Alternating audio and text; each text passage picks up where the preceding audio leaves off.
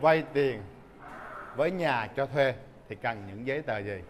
Thưa quý vị và các bạn, khi mà chúng ta có sở hữu cái công ty rồi công ty mới sở hữu cái nhà cho thuê thì những cái thủ tục cần vay tiền thì gồm có cái gì?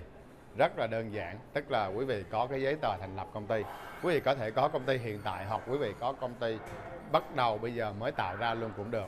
Thì chúng ta sẽ có cái giấy là giấy chứng nhận thành lập công ty giấy mã số thuế của công ty gọi là EN number và kế tiếp nữa là chúng ta có 3 tháng cái bank statement.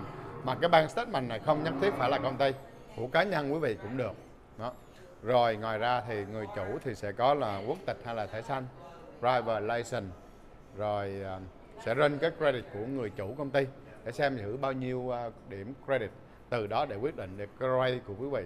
Tức là cái rate của quý vị sẽ dựa vào cái uh, credit và cái cái tiền đào của quý vị từ 20% trở lên 20, 30, 40 gì đó thì tùy theo cái mức quý vị sẽ có một cái mức rate và thấp nhất sẽ là 3.875 à, chương trình này áp dụng cho khắp à, nhà cho thuê ở khắp nước Mỹ.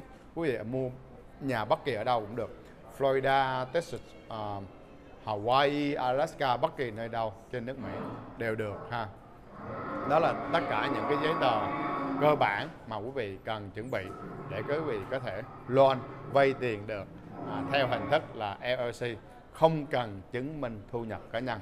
Rất là tiện lợi đúng không quý vị? Vâng nếu quý vị có câu hỏi gì thêm thì vui lòng email vào email của trí ngô là loan officer là trí ngô mba llc at gmail.com hoặc gọi số điện thoại là 210 910 8000 210 396 9124 hoặc 832 403 8358 hy vọng sẽ giải đáp tiếp tục những câu hỏi dành cho quý vị. Cần vay tiền mua nhà cho thuê. Xin chân thành cảm ơn.